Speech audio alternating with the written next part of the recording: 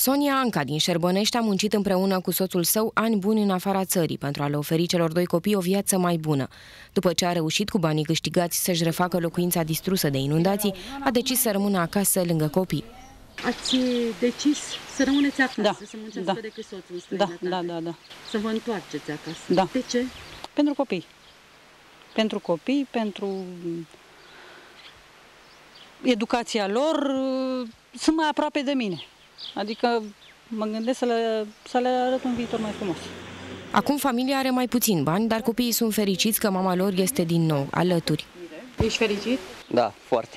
Chiar dacă nu mai are atât de mulți bani să-ți ofere ca înainte? Chestia cu banii nu contează. Atâta timp cât am părinții alături de mine să mă susține la orice întâmplare, totul foarte bine.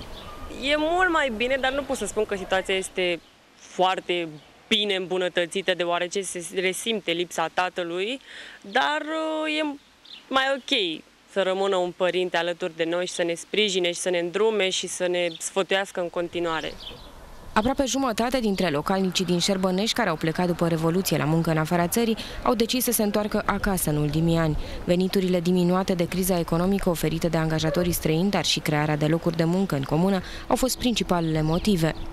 au început să revină după ce mai mulți ani au muncit și în acest timp și-au făcut uh, acasă un rost și-au făcut case sau le-au renovat pe cele vechi și au fost plecați de lângă familie, au hotărât că e timpul să revină și își caută aici un loc de muncă. Avem o societate agricolă care are și o brutărie.